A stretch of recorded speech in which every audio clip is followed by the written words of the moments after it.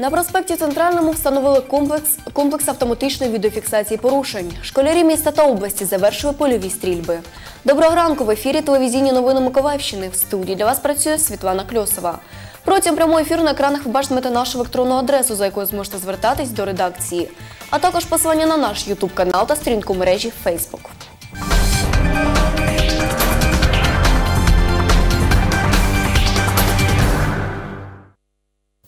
Миколаєві на розі проспекту Центрального та вулиці Шосейної встановили комплекс автоматичної відеофіксації порушень правил, правил дорожнього руху.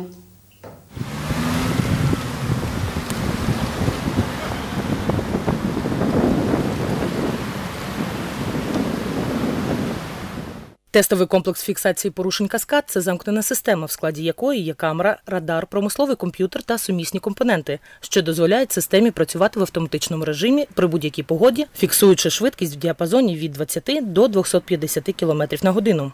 Система е, розпізнає номерні знаки, причому розп- розпізнає всі номерні знаки, які існують в Україні, а також за е, ну, її межами.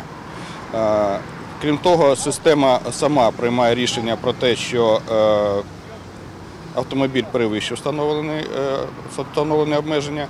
Причому е, вона відповідає вимогам державних стандартів, які були е, введені в дію в вересні прошлого року.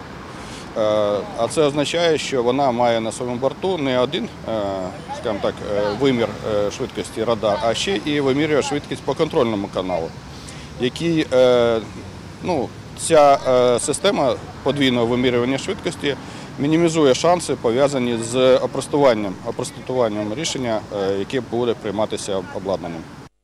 Дані з комплексу передаватимуться на автоматизовану систему обробки даних Міністерства внутрішніх справ України.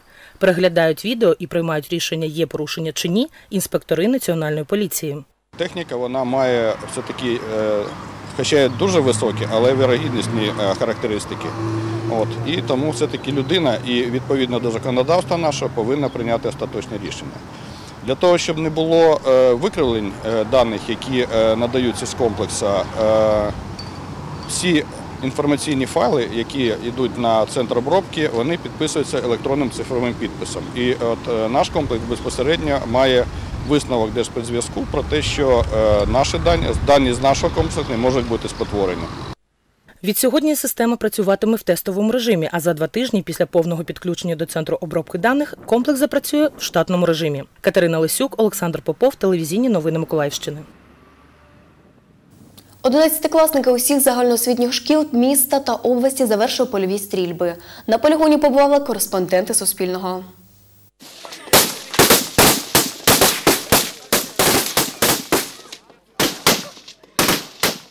Учасниця зборів Анастасія Журик розповідає, раніше вже стріляла з пневматичної зброї. Сьогодні бойовий автомат в руки взяла вперше. Страшно і е, якось ну, неймовірно. Вони допомагають зрозуміти, як, е, е, як тримати зброю в руках і як, як людям, які там в АТО, як вони себе почувають, коли нічого, ну як вуха закладає, нічого не чутно. Стріляли лежачи. Дистанція до цілі 100 метрів. Кожному по 11 патронів. Перші три постріли поодинокі, решта чергами.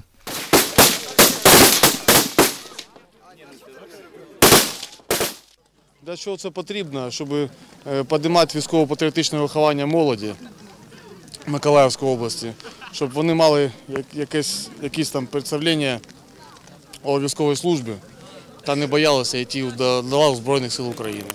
Не боїться йти до лав Збройних сил України, говорить Іван Іванов. Всім потрібно вміти держати автомат в руки, тому що, ну, наприклад, ось я ось е, поступаю, наприклад, е, в воєнну кафедру. Тобто мені це потрібно, мені це допоможе е, для майбутнього.